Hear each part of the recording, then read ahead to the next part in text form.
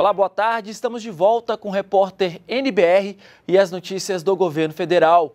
O presidente Michel Temer já está de volta ao Brasil após a viagem de uma semana à Ásia. A repórter Thaisa Dias tem mais informações para a gente ao vivo lá do Palácio Planalto. Olá, Thaisa.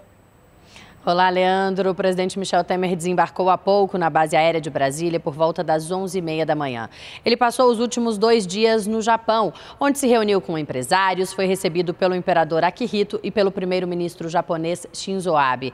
Antes disso, Temer visitou a Índia, onde participou no fim de semana da reunião de cúpula do BRICS, grupo formado por Brasil, Rússia, Índia, China e África do Sul. Ele também teve reunião com o primeiro-ministro indiano, Narendra Modi, e encontros com empresários da Índia.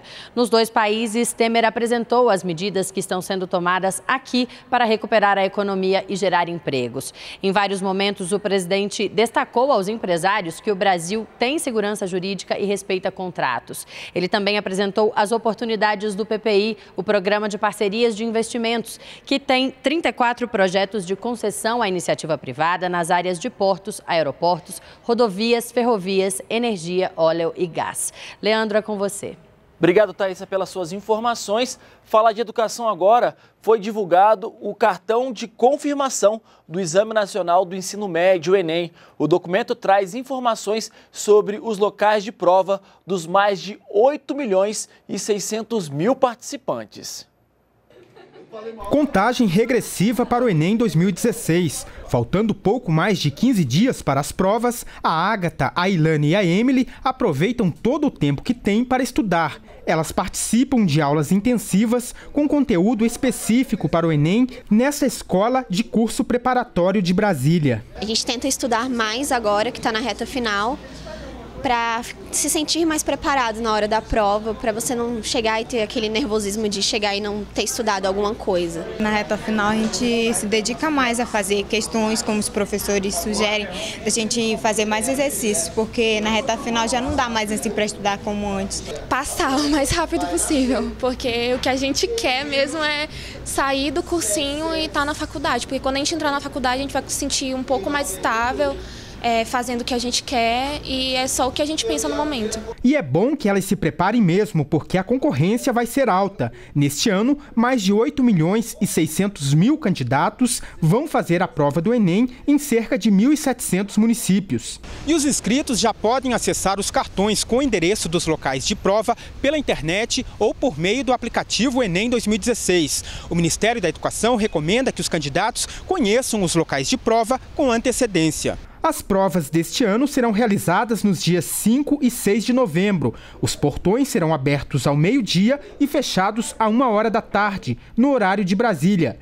E neste ano vai ter uma novidade: a coleta de dados por meio da impressão digital. O sistema biométrico é uma novidade que vai assegurar segurança de que um cidadão não vai se submeter à prova do Enem em nome de outro e isso vai ser acompanhado diretamente pela própria Polícia Federal em testes na hora da realização da prova ou posteriormente para a identificação de eventual tentativa de fraude à prova do Enem.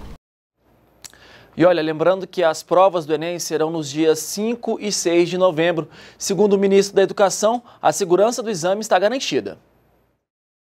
Com relação ao Enem, está tudo pronto, preparado, já estamos anunciando aí o ensalamento, a identificação de onde cada jovem vai se submeter à prova, no local de prova, e eu transmito aquilo que é, que é básico: tranquilidade, paz de espírito e foco nos estudos para que você possa sair muito bem na prova do Enem. A gente tem mais de 16 mil locais de prova em todo o Brasil e pouco mais de 1% a gente tem alguma situação de ocupação por parte de estudantes e alguns movimentos sociais. Eu apelo ao bom senso para que esses estudantes saiam desses locais para que possam garantir, a gente possa garantir, na verdade, a oportunidade de uma prova para aqueles estudantes que eventualmente poderiam ser prejudicados por conta desse tipo de situação.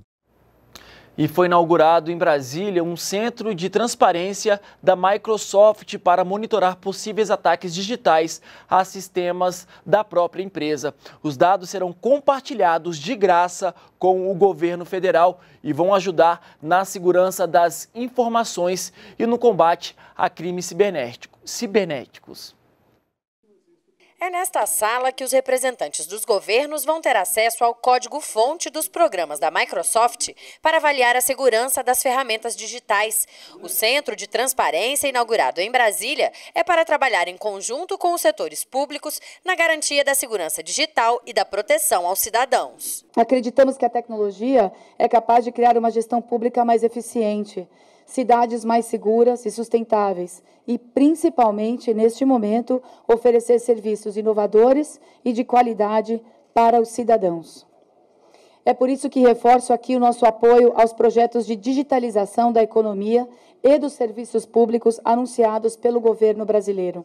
No lançamento do Centro de Transparência, também foi assinado um protocolo de intenções entre a Microsoft e o Ministério do Planejamento para a participação do Brasil no Programa de Segurança de Governo da multinacional. O Centro de Transparência da Microsoft no Brasil é o quarto da empresa no mundo e vai atuar na América Latina e no Caribe. O Programa de Segurança de Governo da multinacional possibilita, além da avaliação da confiabilidade dos softwares da empresa pelos parceiros, o acesso a outras informações com foco em inteligência, proteção contra ameaças online e combate a crimes cibernéticos. O governo digital e a prestação de serviços digitais está diretamente atrelada à transparência e está diretamente atrelada à segurança. A gente não consegue disponibilizar serviços para a sociedade sem pensar nesses dois pilares. Gostaria de convidar a toda a sociedade, cidadão, academia e a, a indústria de TI de Brasília a seguir os passos da Microsoft e ajudar a construir aqui em Brasília um polo de referência mundial em governo digital, em disponibilização de serviços para a sociedade. E nós ficamos por aqui. Voltamos a qualquer momento com outras informações ou às três da tarde na próxima edição do Repórter NBR. Uma boa tarde para você, um bom almoço e continue com a gente aqui na NBR, a TV do Governo Federal. Thank you.